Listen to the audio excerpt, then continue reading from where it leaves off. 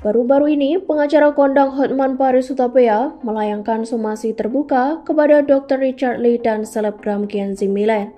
Hotman Paris bahkan mengancam akan lapor polisi jika Dr. Richard Lee dan Kenzi Milan tak minta maaf kepadanya.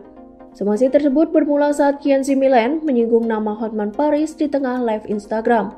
Kala itu, Kenzi Milan juga tengah mempromosikan produk kecantikan milik Dr. Richard Lee. Dalam siaran live tersebut, Kianzi menyebut wanita yang didekati Hotman Paris adalah wanita gampangan. Bahkan Kianzi Milan pun mengaku enggan jika didekati oleh pengacara kaya raya tersebut.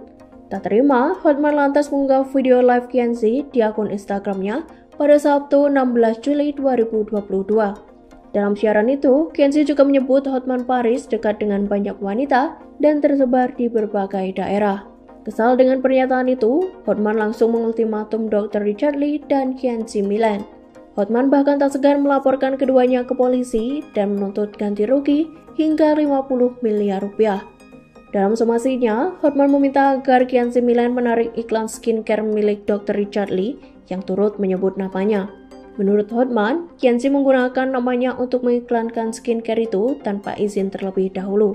Lebih lanjut, Hotman pun menegaskan Apabila somasi terbukanya itu tak diindahkan, maka ia akan menempuh upaya hukum, perdata, dan pidana.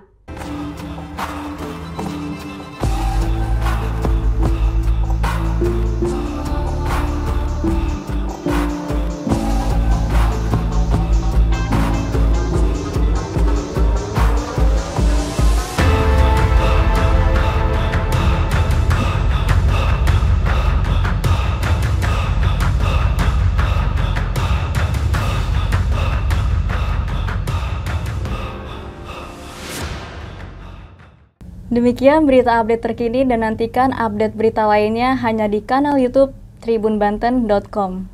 Jangan lupa subscribe, like, komen, dan share.